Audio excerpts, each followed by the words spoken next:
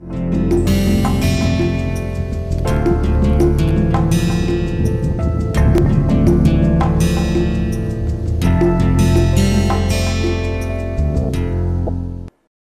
morning. Our today's focus is material selection for the design of a cantilever beam. So, we will apply our knowledge of materials while actually working for a design problem and we will also use the knowledge of Ashby charts. So, the problem statement is that you have to select a cost effective material for a circular cross section cantilever beam loaded at its end having high stiffness and lightweight. And since uh, you know the length or the span of the cantilever beam is always uh, fixed. So, what you can play with in the geometry is with the radius of the circular beam cross section and also the choice of the material. So, these are the free variables for us and the constraints will be the maximum deflection and the beam length. So, let us look into it that how we can solve such a problem and then how we can use our knowledge of materials after solving such a problem. To begin with then uh, what is important for us is a cantilever beam circular cantilever beam that means if I look at it from this direction then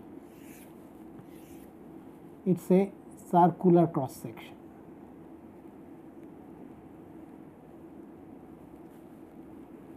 And the diameter d of this circular cross section is a free variable. Okay.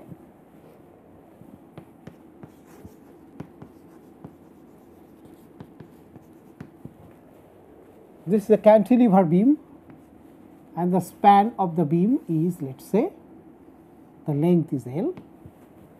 What is the loading condition? That it is carrying a end load. So, it has a end load here, the end load is F. Now, we have to have a little bit of knowledge on the deflection or the strength of materials basically the deflection of a cantilever beam how it looks like. So, if you try to exaggerate the deflection let us say if the load is quite high then this is the way it is going to deflect which means that the central point of the beam.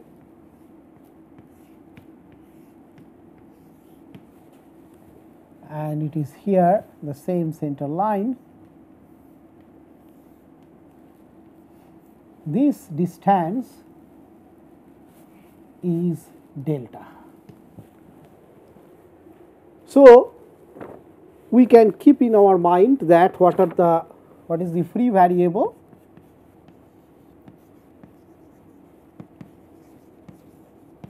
that is D and material choice.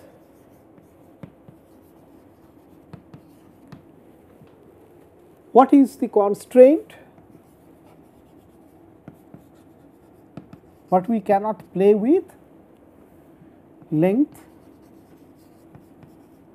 of the cantilever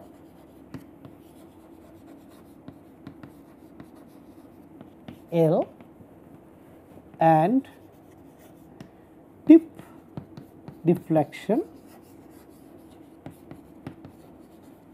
delta. We cannot play with these two. If the deflection is too high, then that cantilever beam will be kind of unusable. And if the uh, length uh, changes, then also functionally it becomes uh, unusable. Of course, that force F it has to carry. Now, from our knowledge of strength of materials, apply that knowledge, knowledge of basic strength of materials, we know that the end force and the tip deflection they are related in such a manner that we can say that F equals to 3 EI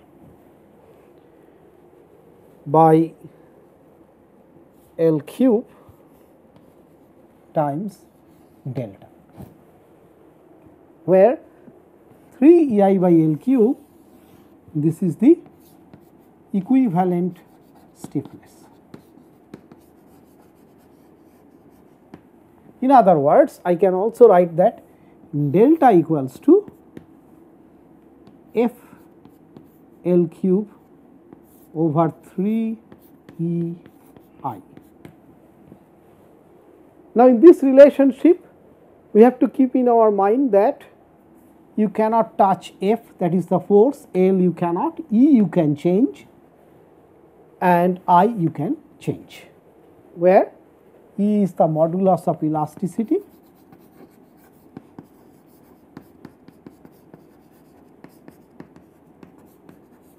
and I is the area moment of inertia.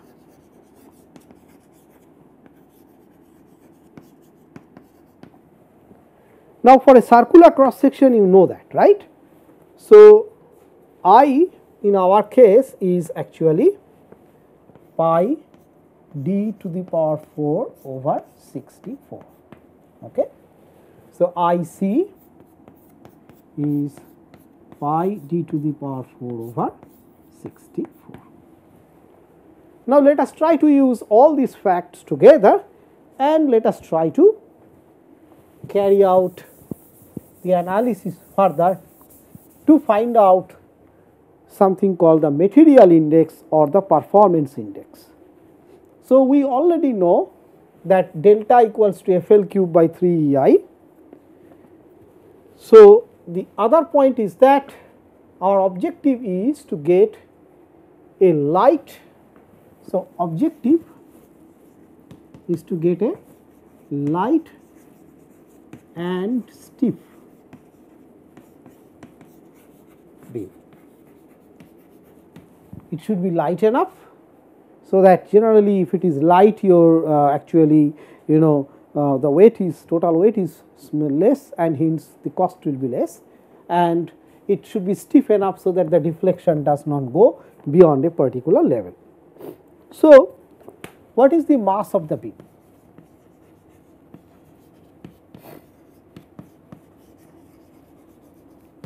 Mass of the beam is actually density of the beam times the volume of the beam itself. So, we can write the mass as rho times uh, our area of the beam that is pi by 4 d square times the length. That is the mass of the beam itself considering that it has a uniform circular cross section you know that is the mass of the beam. So, then uh, and we have to make it as a lightweight beam right. Okay. What is the d in terms of our first equation? Let us look into that. In this equation that means uh, the further developed form is this one. Okay.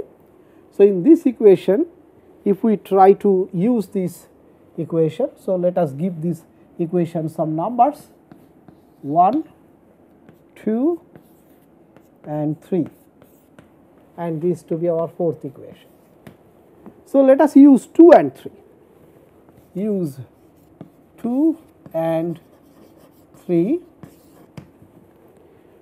So, what we can get is that i is here and that is nothing but IC which is pi d to the power 4 by 64. So, I can write d square equals to little bit of algebra 64 by 3 FL cube over E delta whole to the power half that is square root of the whole thing. That is what is my expression of the d square and substitute this. So, let us say this is my equation 5. Yes, we also have E and the pi here, E delta pi, right. Now, we substitute this whole thing and we try to get an expression. So, let us try to erase this part now because we have used these equations.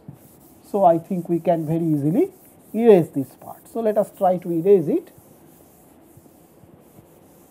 and let us try to use this expression of d square that is equation 5 uh, let us try to use it in 4. So, use equation 5 in equation 4. If I do that, I can now write the mass of the beam, let us say the mass of the beam I denote it as m.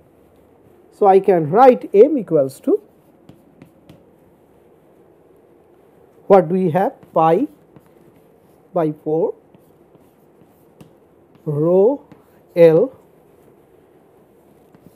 64 by 3 F L cube by E pi delta square root.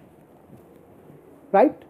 That is the mass of the system that is what we are getting once we are substituting the d square term here by this expression of the equation 5. So, that is the mass of the system that we are getting from it. So, let us try to now write down this mass in terms of some different parts. Okay. So, what we can do is that we have let us say uh, the constants first. So, that is pi by 4 that is one constant times we have square root of so 8 over square root of 3 pi. So, this is like all the constants together. So, let us keep all the constants together. Then let us see. We have some geometric parameters with us. What are these geometric parameters? L times L to the power 3 by 2, right. So, that is the geometric parameter that we have. So, let us keep that also separately. We have some functional parameters. What is it? That is f over delta. Okay. Function, the force is given to us and the deflection is also the maximum value is given to us. Now, if I take these things apart, what else is remaining? What is remaining is the material property of the system and what is it? Rho over square root of E. Okay. So, once again let us look into the term by term situation that we have by delta 1 by 3. and uh, f by delta we have and we have a half here right okay. So let us look into the whole thing now. The first part is the constant. Right? The second part here this is a geometric parameter. The third part here, these are functional parameters.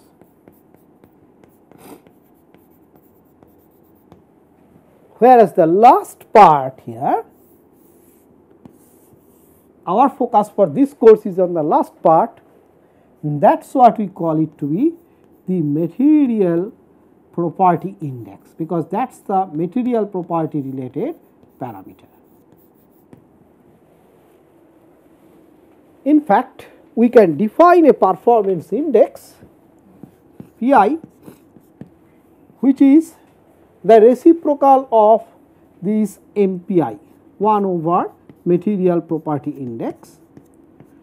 So, if you do that then it will be square root of E over rho.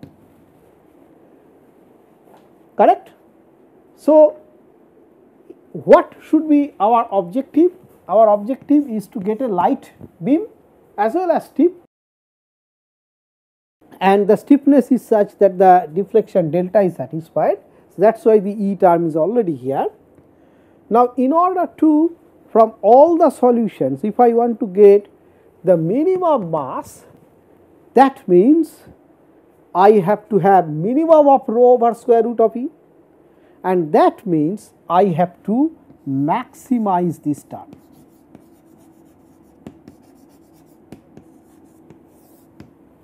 Right. So, maximization of this performance index square root over E by rho is what you know can give us the solution that is one thing that is clear to us. Now, sometimes on top of this we may also say that there is some kind of a cutoff value in our particular analysis. So, if I do that, that if I also say that there is a cutoff value, then I can develop an equation. Suppose I say that e to the power half over rho has a cutoff value c. So, that means you want to maximize it fine, but at least it should be beyond a certain point. Then that cutoff value if it is c by taking a logarithm in both the sides I can get it as 2 log rho plus 2 log c. In other words, if we now get a plot of a log log plot of the system that means log E over log rho then depending on this cutoff value C we actually have a straight line in the log log plot. And the materials which are below these points they are not suitable. And the materials which are above these points those materials will become suitable for our application.